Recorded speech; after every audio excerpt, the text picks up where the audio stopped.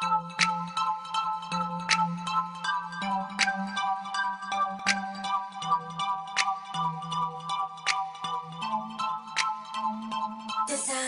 diva, probably eating sleek Gucci, boutiques and high-end fashion store. I don't and she's the perfect passenger appliance. I just brought her here so she can ride as my diva. Hi Divas, this is your girl Hawaiinani again, coming at you. I don't know if you guys can see me or not. My lighting is a little bit suckish in the house. And I just wanted to let you know what palette I used. This is here. This is the palette I use. I'm gonna do a tutorial on this hopefully later.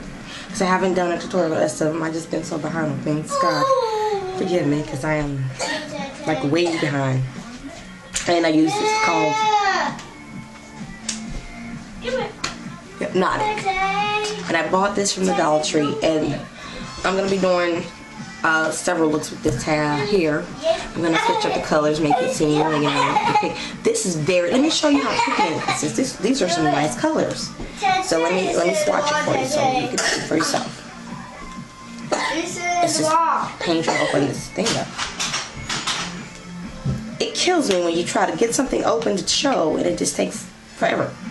Okay, I use this color here for my lid. And I already just watched for that one. See how, look, it's still on my hand. and I went outside with you guys with this. Seriously. It's on my hand. And this is the, like a gunmetal color. color. Swatch that. This is on my hand. I just swatched it. I just did one dip. Look at that. Look how pigmented that is. Wow.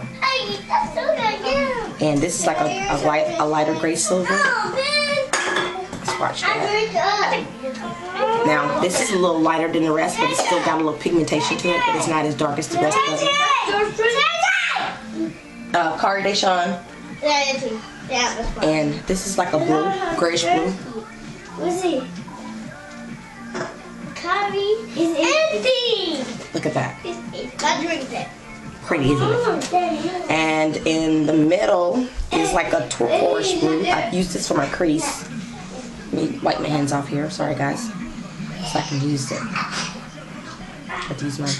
This is the blue. These are fantastic colors. Look at the blue there. Sorry about the noise, guys. And this is the white. Sorry about that. Trying to get this white up here. Look at that. The pigmentation to this white is off the chain. Look at that white. Look how deep that white is. This is absolutely crazy. These colors are beautiful, guys. But I use the white um, for my um, highlight, highlight for my brows. And let me zoom in so you guys can see what I'm talking about.